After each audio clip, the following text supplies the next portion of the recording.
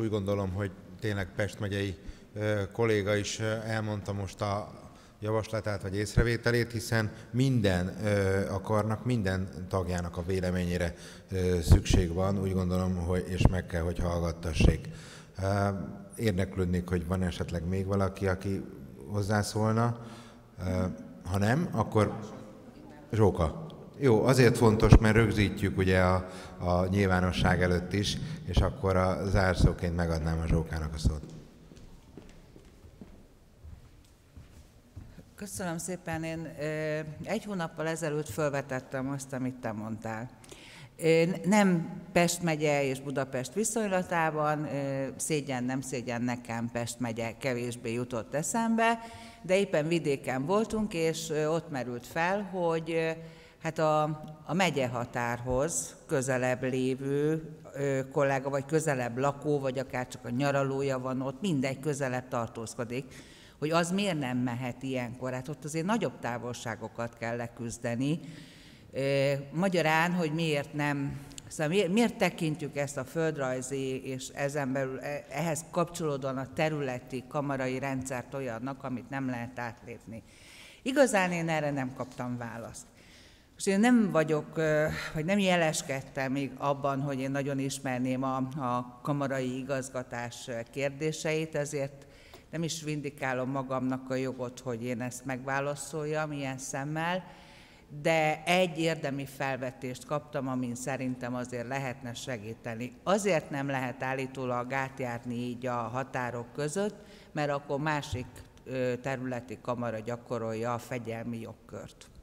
Ezt én nem nagyon értem, bocsánat, hogy egy, már, mondjuk én már ott leragadok, hogy miért kell mindjárt fegyelmiről beszélni. Tehát tudom, ez az én kis butaságom, de e, lendüljünk túl, mások ezt jobban értik.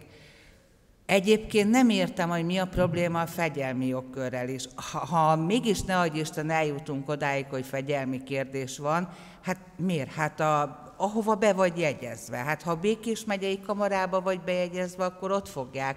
Attól te nem ott láttad el az eljárási cselekményt, hát nem értem a problémát, tehát össze-vissza vándorolunk az országban, részben azért, amit te mondtál, részben meg, mert, mert vannak ügyek, amelyek vidéken tartózkodnak a védencel együtt. Hát akkor én is vidéken tartózkodom, hát ez e, ilyen egyszerű.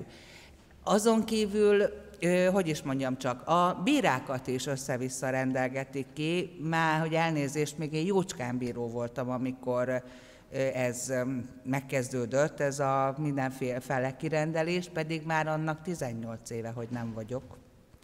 Tehát igazándiból ott is meg tudták és meg tudják oldani a fegyelmi jogkört, attól, hogy budapesti ügyet tárgyalattól ő debreceni bíró marad. Tehát más értelmes választ meg nem kaptam, de én, én még egyszer mondanám, nem ismerem a kamarákon belüli vagy kamarák közötti igazgatási szabályokat, netán az ellentéteket, na ez utóbbiakat nem is akarom megismerni, de ha mások is esetleg úgy látják jónak, hogy ezt az átjárhatóságot mégiscsak forszírozni kellene az észszerűség és az arányosság jegyében, akkor lehet, hogy ehhez viszont jogszabálymódosítás kell. Ez tiéd? Joci. Köszönöm szépen. A, abszolút egyetértek Zsókával. Én is úgy gondolom, hogy az észszerűség és az arányosság nem esett áldozatául az egyszerűségnek, vagy a, a leegyszerűsítésének a, a rendszernek, tehát inkább találjunk ki egy bonyolult rendszert, de legyen igazságos, legyen arányos. Ezzel zárnám a mai konferenciát.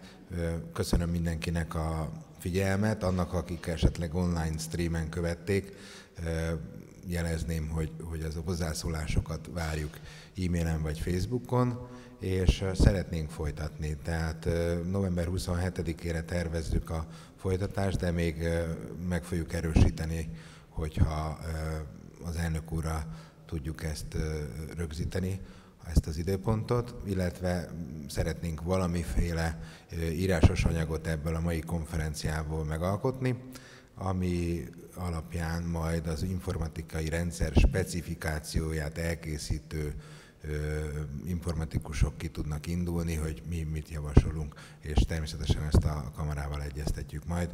Köszönöm még egyszer a figyelmet, és hogy értékes idejüket arra szánták, hogy, hogy velünk legyenek. Minden jót, viszonthallásra, viszontlátásra.